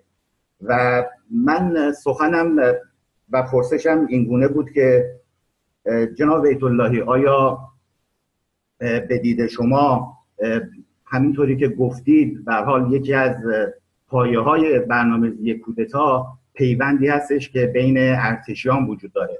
اما خب بعد از گذشت چهل سال هم دوره های شما هم قطارهای شما دیگر نیستن در ارتش و خب سیستم ارتش هم مانند سیستم ارتش شاهنشاهی دیگر نیست. امکان داره یک پیوندی دوباره برقرار بشه و آیا به دید شما یک اپوزیسیون نظامی در بین اپوزیسیون جمهوری اسلامی جایش خالی نیست که بتونه این پیوند رو برقرار بکنه. و سوال بعدی این هستش که آیا شما برنامه صد روزه برای پیش از براندازی و یا برای پس از براندازی روی میز دارید؟ آیا به این فکر هستید که بشه دوباره با یه حرکت نظامی بتونیم کشور رو پس بگیریم؟ سپاسگزارم اگر پاسخ من بدید اول که سپاسگزارم از لطفتون و عنایت دوستان. خیلی ممنونم. ببینید کاملا درست فرمایید ارتش که چل سال پیش بود امروز وجود نداره. ولی ماها که چل سال پیش بودیم هنوز وجود داریم. به خاطرتون جمع باشه. ضمن اینکه در نیرو هوایی که من فکر کنم نسلهای بعدی که اومدن همه ما رو می‌شناسن. چون این داستان داستانی نبوده که در واقع از بین بره پیرامونش گفته و شنیدن و همچون ادامه داره همچون در ارتش. من با خیلی در داخل ایران در تماس هستم که نظامی هستن و خب نسلی هستن که اصلا زمین تاستان با دوران ما متفاوتن. از در سنی هم تفاوت سنی زیاد بریم اون در رده مثل ستون دو ستون یکه. ولی داستان ها رو شنیدن. من فکر کنم همین داستان رو شنیدن برای خودشون گفتن و حرکت ها رو خب بالاخره این همه تعدادی که کشته شدن بالاخره فرزند داشتن خانواده داشتن کسی کار داشتن صحبتاش گفته میشه دیگه این بر و ما هم نداشتیم این مسئله خاموش هر سال سرسالش رو در واقع به هر دلیلی بوده در همینجور در گفتیم گفتگو کردیم. مثلا از طریق تلویزیون ها به خونه ها رفتیم. و صحبت کردیم. هست صحبتش هستش من, من اعتقاد دارم که ارتش با ملت همگام خواهد بود. شکی ندارم. ولی چنین موقعیتی ایجاد بتونه به دست بیاره که یک حرکت نظامی رو انجام بده. این بعید می‌دونم. که جاش نیست که چنین کاری رو بکنه و درست هم نیست در شرایطی که هست. با که شما دو نظام دارید. هفت اداره یا هشت اداره ضد اطلاعات الان دارید. خیلی سخت داره و دوباره یه دور دیگه خواهد شد که اطلاع دیگر از بین برن. من حرکت مردمی رو بیشتر در واقع بهش اعتقاد دارم که اونجاست که خود ارتش هم در واقع در کنار مردم قرار می‌گیره نه رو روی مردم. اون حرکت حرکت بسیار درستی است به نظر من. اون که ما بخواستیم انجام بدیم یک حرکت قاطع بود و تمام بشه چون همه پیوندها وجود داشت به گذشته هنوز خیلی بخش بزرگی از جامعه در واقع در سکوت باختن. اگه سکوت نکرده بودن شاید اصلا اینا نمی‌تونستن موفق بشن. اگر سال 42 همین خمینی نبود که می‌خواست چه می‌دونم همین کار بکنه. سه روزه خفه کردن تمام کردن همین چیز رفت. نه مملکت تسلیم شد نه کسی تسلیم شد. بخواستن می‌تونستن جلوشو بگیرن متاسفانه نگرفتن دیر شد. به حال اون که بود من فکر می‌کنم در آینده نه اینم تجربه است بر صورت. برای هر کسی به تجربه است. و این تجربه رو آموختیم من اعتقاد دارم در درون خب خودشون بهتر می‌دونن که چنین جایی رو ندارن. شما که یک پایگاهی داری به نام خاتم انبیا که در واقع ایستگاه رادار اومده شده همه چیز دیگه همه چی هست گمرک داره فلان داره سازی می‌کنه جاده سازی می‌کنه فرودگاه می‌سازه اصلا ربطی به اون نداره. این در برگرفتن خیلی مسائل اجتماعی خود به خود قسمت بندی کردن اینا. ولی کور خوندن حرکت مردم ایران رو نمی‌تونن جلوشو بگیرن می‌بینی که روز روز حرکت هم داره گسترده تر و بهتر داره میشه. و مسئله ایران گرایی در ایران داره خیلی بالا می‌گیره. این, این به نظر من شادی بخش همه است. این مسئله خیلی داره. مسئله ناسیونالیسم. که جای خوش داره باز می‌کنه به طوری که امروز هر فریخته که اون روزها اسم ناسیونالیسم میبردید برابرش میدرستن با شونیسم و این چیزا دیگه این صحبت رو نمی کنن دیگه نمیگن یک حرکت فاشیسم میگن یک حرکت بجاست یک در واقع روش درستی است اعتقاد کاملی است که بالاخره اون چه هسته مملکت هست پیوند میده خودش رو می‌خواد اینو نگه من جناب قمری واقعا خوشبین هستم نسبت به نسلی که در خدمت می‌کنه در ارتش. من مطمئنم خیلی خواهم پیوست البته بخش بزرگی از سپاه در رده های پایین که اونها هم خیلی نیروی گریز از مرکز هم دلیل نداره واسه ببینه که آقابتی هم نداره. اون که چه اون سردار سپاهی که میلیون دلار می‌بره این بر اون بر می‌کنه که چرا پایین دست که نمی‌تونه پایین دست هم با نون بخور نمیره زندگی می‌کنه. همچون وضع اون چنانی نداره. اون هم به نظر من اعتقاد داره که در واقع ریزش خواهد کرد و می‌کنه. جریان باید بهش دامان بزنیم جریان گسترده سر بکنیم و بتوانیم نیروهای متحد و شکلی به وجود بیاریم. یعنی از طرفداران ایران خواه طرفداران تف راست بتونیم نیروی بزرگی رو ایجاد بکنیم. چون تف تف بسیار بزرگی است. این تف پتانسیل بسیار زیادی داره. از هر لحاظ از نظر تکنوکرات از همه لحاظ. از نظر آدم باشور خیلی خیلی از سازمان های دیگه یا بخش های چپ اجتماعی که اصلا به درد نمی‌خورن کاملا مجزاست و می‌تونه قدرتی باشه و می‌تونه هدایت بکنه. این که فرمودید برای ساعت بود نه ما از نظر نظامی من کار, کار نکردم رابطه ای دارم ولی در حزب مشروطه ما برنامه دولت داریم به طور کلی یه برنامه جامعه دولت داریم. بکنم کمتر حزب سیاسی هست که برنامه که ما داریم داشته باشه از من تمام. سپاس گذارم با سپاس. خب دوستان چهار تا پرسش دیگه یعنی چهار تن از دوستان سخنانشون رو با جناب بیت الله در میون بگذارن و سپس دیگه یه جستار دیگر هم که توی نشست بناش بناست اشاره بهش بشه پی بگیریم. بنابراین چهار تن دیگه یکی آبراهام یکی دامون یکی رامین و یک پرسش رو هم با رکسان نوشتن. خواهش می‌کنم آبراهام جان خیلی کوتاه پرسشتون رو بفرمایید. درود دوباره. در رابطه با حالا بیعت همافران با خمینی روایتی رو شنیدم که همافران نبودن بلکه افرادی بودن که لباس های بدلی پوشیده بودن. آیا این واقعیت داشت یا نه؟ و بعضی از روایت ها هستش که این افراد رو تیمسار جهانبانی به نزد خمینی اوورد آیا این هم درست هست یا نه؟ سپاس گذارم ابدا چنین چیزی نیست. ابدا تیمسار جهانبانی اصلا تیمسار جهانبانی نرسید بیچاره. تیمسار جهانبانی که ادامه شده تیمسار جهانبانی که از ارتش رفته بود دیگه. مسئول ورزش ایران شده بود. دیگه نظامی نبود. نه اصلا من نمی‌دونم این صحبت ها از کجا میاد. نادر نادر جانبانی با این حرفا اصلا جور در نمیاد از یک ایرانی پرست بخوام بگم بشناسم یا آموزش چیزی باشه زیر دست نادر جانبانی آموزش دیده رشاد باشه افسر. بسیار بسیار توانا و قادری بود. نه اصلا چنین چیزی نیست. ما در رده همافر خیلی ناراضی داشتیم. خیلی ناراضی داشتیم. حقوق مطفی می‌گرفتن. ولی به خاطر درجهشون ناراضی بودن. اینها رو در واقع پیمانی بودن که 11 سال بیان و کار کنن. از 11 سال نمیذاشتن برن. خب ناراحت می‌شدن. البته خیلی هم آموزش دیده بودن خیلی هم در حد مثل یا موفر چار در حد استاد دانشگاه است از نظر تکنیکی. خیلی خوب می‌تونه بره استادی کنه. خیلی راحت می‌تونه استادی کنه.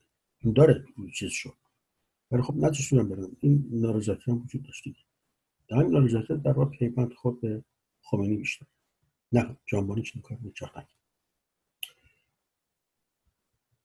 بفرمایید سپاسگزارم خب مهرداد گیر... اجازه بده ببینم دامان گرامی شما بفرمایید سخن. آرین جان یکی منم ندیدی یا باشه پتروس بفرمایید دامان جان گویانتون رو باز کنید رو مطرح. درود بر شما جناب بیت اللهی با گرامی با یاد ارتشیان جانباختگان قیام شاهروخی پایگاه شاهروخی من سوالم در واقع دو بخشه ولی در یک چارچوب قرار می‌گیره.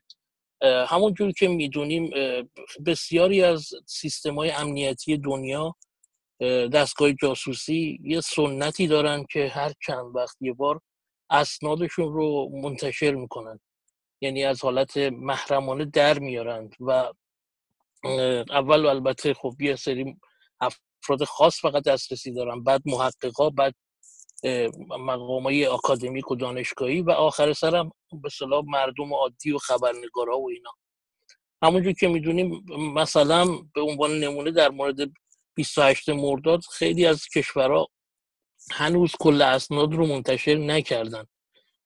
بنده سوالم دو بخشه بخش اول این که آیا شما یا دوستانی که پیگیر ماجرای این قیام هستند اتفاقایی که در رابطه با اون پیش اومد چون همون موقع بسیاری از کشورها سفارتاشون باز بود و فعال بود در داخل ایران. احتمالا اسناد خیلی مهمی دارند و داشتن. آیا کسانی هستن که پیگیر به صلاح این اسنادی باشن که هر چند وقت یه بار منتشر میشه؟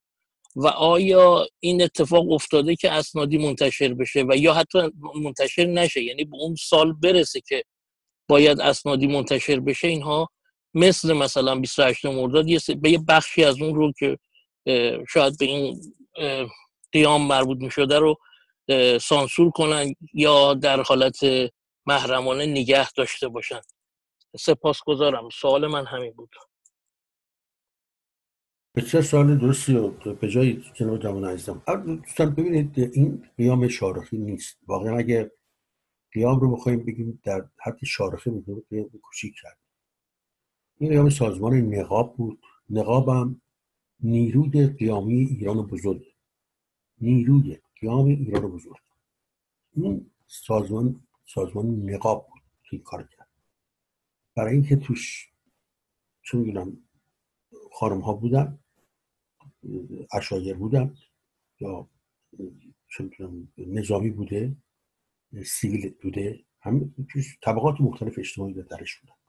مثلا به نظر من از قیام شارخی که در حد یک پایگاه هست افراد پایگاه بیرون بیاریمش همون قیام نقاب سازمان نقاب بود که نیروی که قیام ایران بزرگ خیلی که کنم ببینید ما برای این کار اولی که هیچ کشوری هنوز این چیزی رو ندیدیم که آزاد کرده باشه اگه چیزی داشته باشه.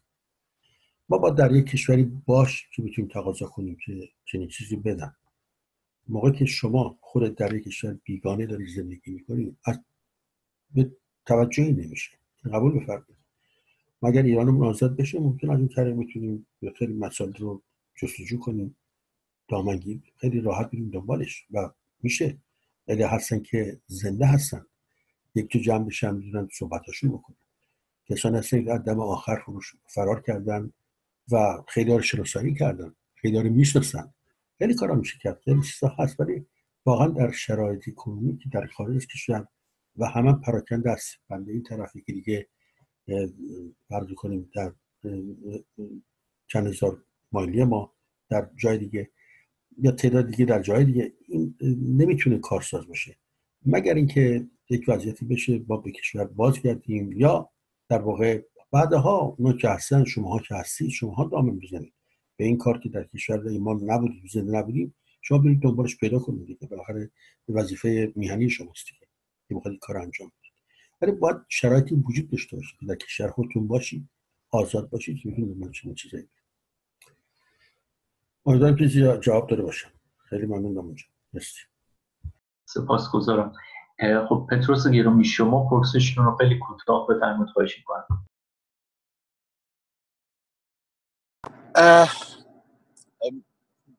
استاد گرامی ببینید من معتقدم که این قیام یه روزی بالاخره زمانی که جمهوری اسلامی تموم میشه و به نظر میاد خیلی زود هم انجام میشه یه روزی تو کتاب ها خیلی مطرح خواهد شد حتی تو کتاب های درسی خواهد رفت و به عنوان یه حماسه بزرگ.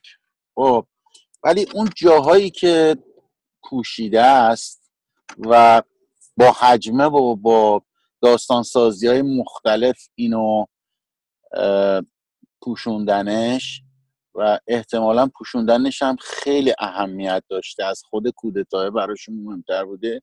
بخش لو رفتنشه که چجوری این کودتا لو میره. یکی روایت می‌کنه اون اوایل که خودشون آخونده بلدن چجوری خمینی رو ببرن تو ماه. می‌گفتن یه سگ مجرا رو لو داده.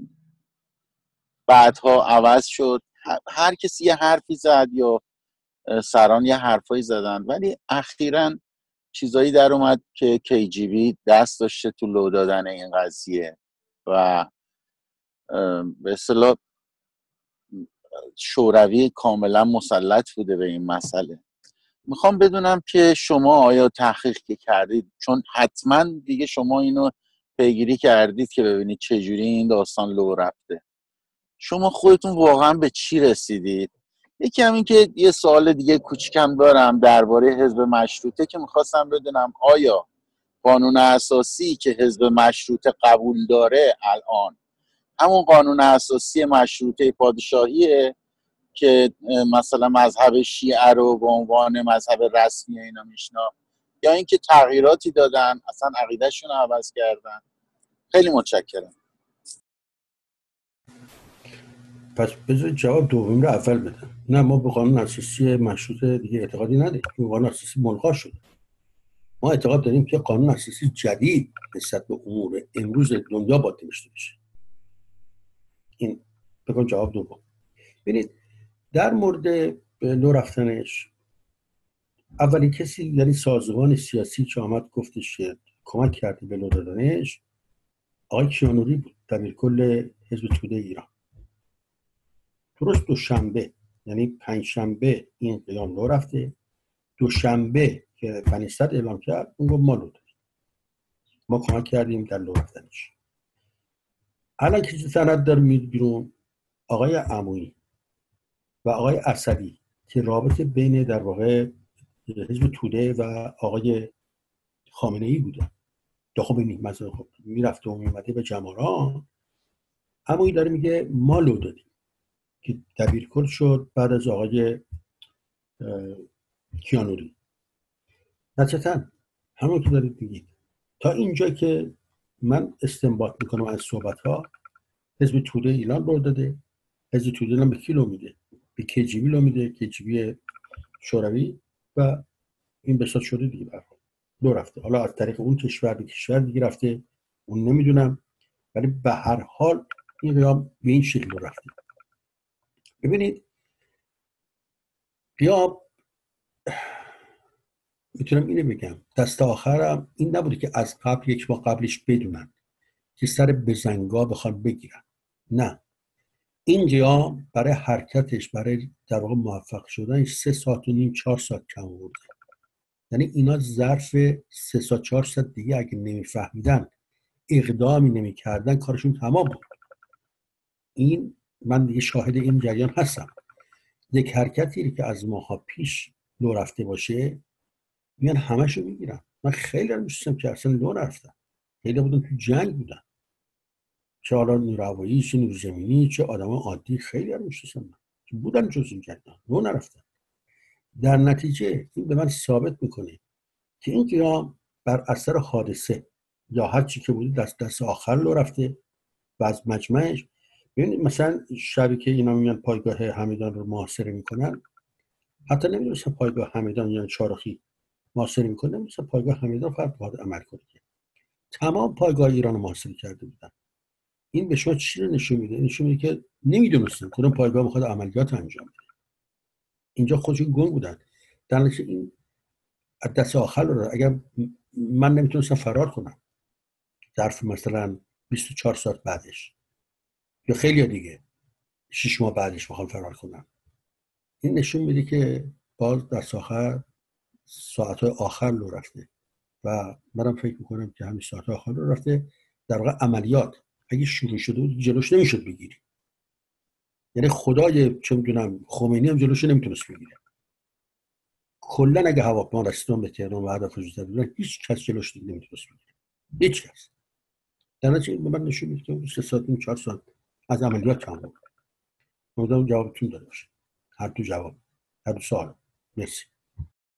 خب بذارید تا مشکل تکنیکی شما برطرف میشه پرسشی که بانو رخصان نوشتن رو هم در میو بگذارم که پاسخ رو بشنویم.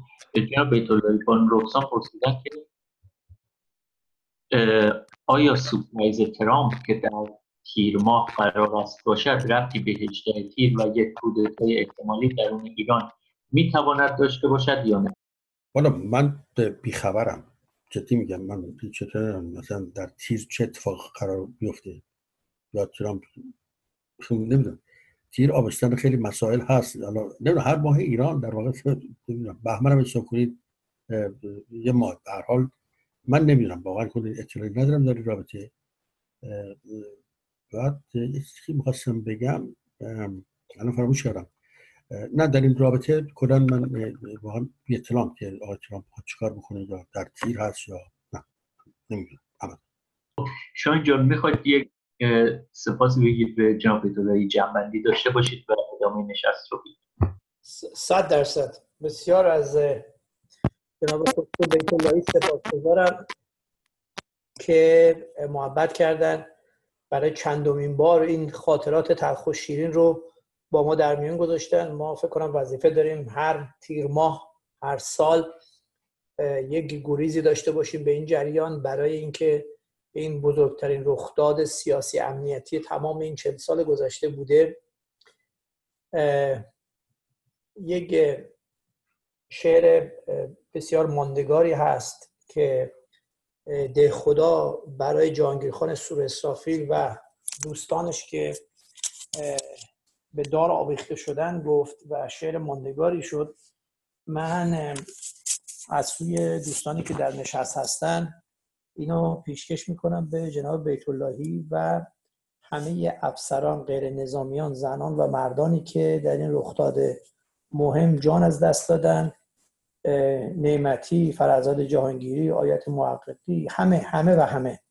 شعر شعر طولانی است. من فقط دو بندشو می‌خونم و به نشانه احترام به یاد این رفتگان امیدواریم فروهر اینا الان شنونده این نیایش ما البته نیایش ایرانی ما برایشون باشد یادار ز شمع مرده یادار ای مرغ سحر چون این شب تار بگذاشت سر سیاه کاری و از نفه روح بخش اسهار رفت از سر خفتگان خماری.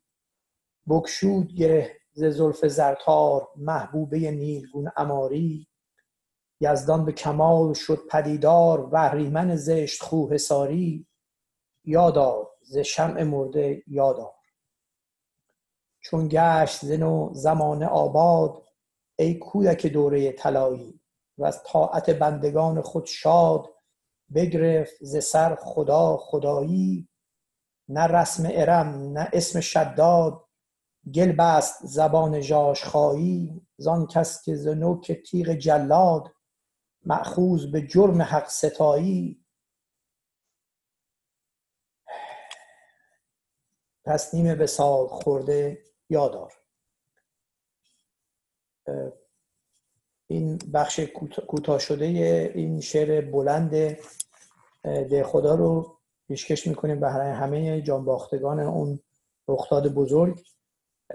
سخن از من تمام. از جناب بیت بسیار سپاسگزاریم.